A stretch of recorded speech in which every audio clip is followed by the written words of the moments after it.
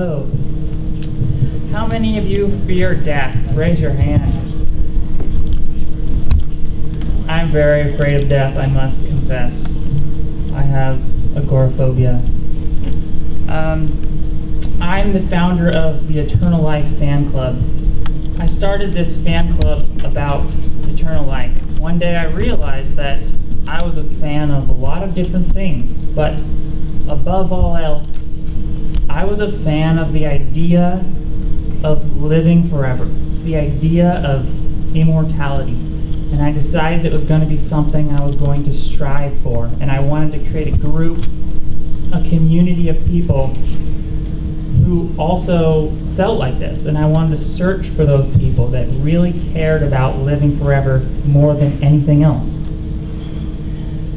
Um, in case you guys haven't noticed, I'm sure many of you have, we're living in a nightmare. This world is nightmarish because death, death makes this world a nightmare. And that's why I love this conference so much because the subject matter is about ending death, our greatest enemy, our greatest foe, which renders our life essentially meaningless. Uh, if you think about it, what's the point of existence if it ends in oblivion?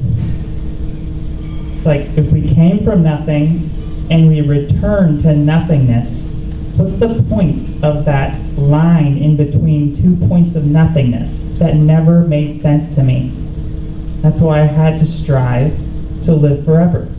To me, that was the only reason, uh, that was the only way my life could have meaning. I needed to exist because a dead person can't have any experiences, they can't have any fun. Death sucks. My motto is don't die. Um, so, I want to quote a great quote from a favorite person of mine, Maria Konovalenko. She says, I strive to immortality. I want to ask all of you guys are you striving to immortality? Are you striving? Are you trying to do everything in your power to live forever? I hope that you are. I really hope that you you are that the, if you fear death like I do, that you can use your fear of death as a motivation, as a fuel for your striving to immortality. Because, you know, fear of death, our world likes to say that the fear of death is, you know, it makes you a sad person, it means you're a depressed person, or uh, it means you're weak. I disagree. I think the fear of death really means that you love life. It's like there's two sides of a coin. If you love life, you're going to fear death. If you fear death, it means you love life. So if you fear death, I think that's a good thing. So what I want to talk about is cryonics is something that can give people hope. And I want to talk about another thing that can that we have hope for, which is to not die in the first place. As you know, cryonics is not guaranteed to work, um, which is why that's another reason why this world is nightmarish. It seems like okay, one of the only things that we can have a hope for. It's not even guaranteed to work. I wish it was, but I want to talk about the hope that we have just to avoid death to begin with. And in order to do this, of course, we need to cure aging. Um, the Eternal Life Fan Club, I'm an activist for anti-aging research. Um, I'd like to just promote SENS Foundation, the work of Aubrey de Grey. I think it's one of the most promising ways that we can actually potentially never die to begin with. This idea of reaching a longevity escape velocity is an idea that Aubrey de Grey talks about a lot of times. It's basically if we could just live long enough to live forever. Like if we just live long enough, we might be able to benefit from future therapies that are coming. So I just want to encourage you, if you're a member of Cryonics, do try to hold out hope that you don't even have to die to begin with.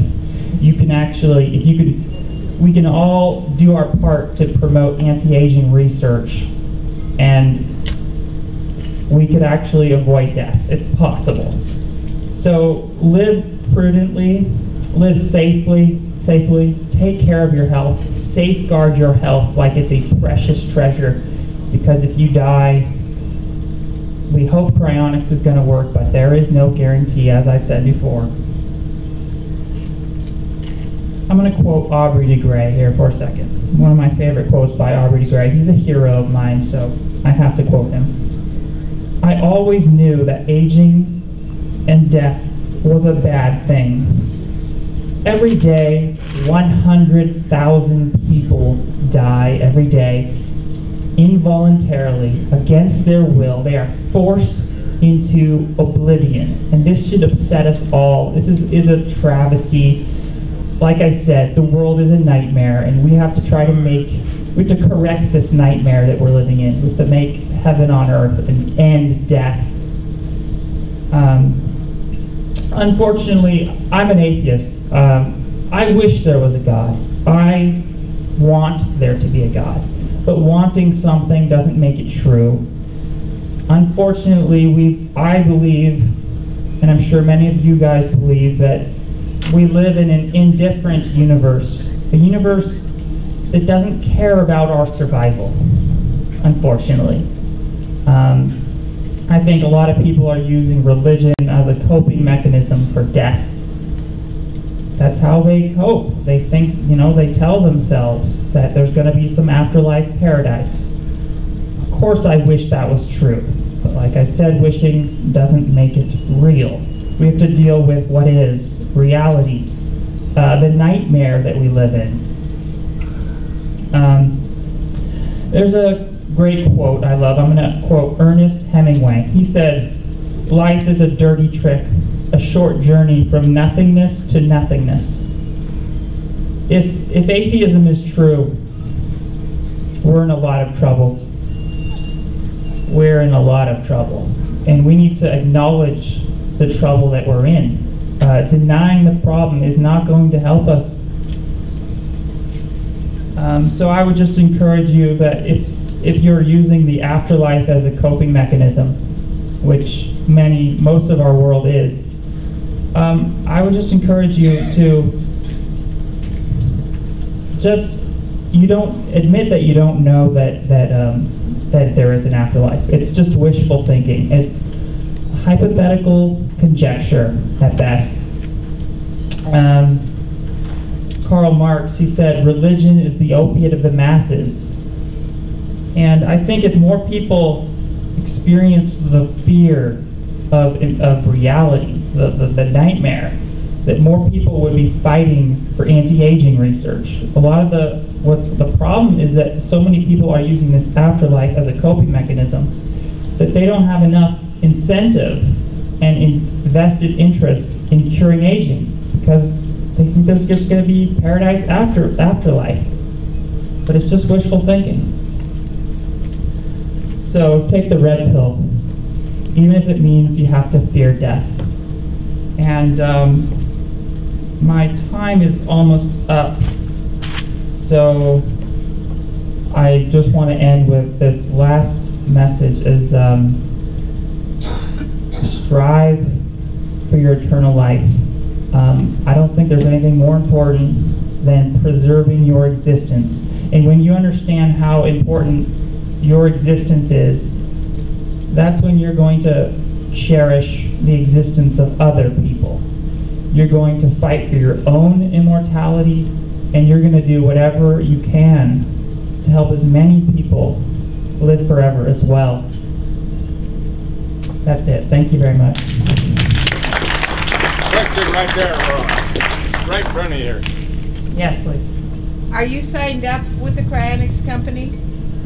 Um, I am not signed up. Um, I've debated this many times. Uh, I'm I'm trying to li- I'm trying to avoid death to begin with, and so if someone like offered me a lot of money right now and said I can get a Cryonics membership, I seriously think that I might just give it all to SENS Foundation because I want to. I want to cure aging. I don't want people to have to die to begin with that's my focus in life. Thank you. Okay. Thank you very much. Thank you.